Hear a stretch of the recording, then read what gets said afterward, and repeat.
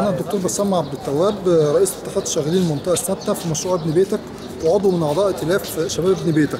إحنا النهارده متجمعين واقفين عند مجلس الوزراء بنطالب حقنا في تدخين المرافق المشروع اللي بقاله خمس سنين خمس سنين كاملة دافعين فلوس وبنينا بيوتنا والتزمنا في كل المراحل حسب مجلس الوزراء حسب ما وزارة الإسكان كانت طالبة وبنينا دلوقتي الفلوس بتاعتنا مرمية هناك.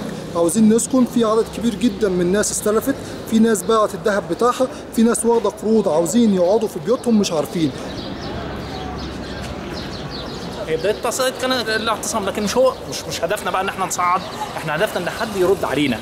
حد يقول إن إحنا هنعمل كذا وكذا مش طالبين إعجاز. ائتلاف ابن بيتك كان واخد وعد من الدكتور الدكتور مرسي إن يأيدوه وتم تأييده فعلا وإن هو كان هينهي المشروع خلال ثلاث شهور. بعد ما الدكتور مرسي نجح في الانتخابات أدي وش الضيف.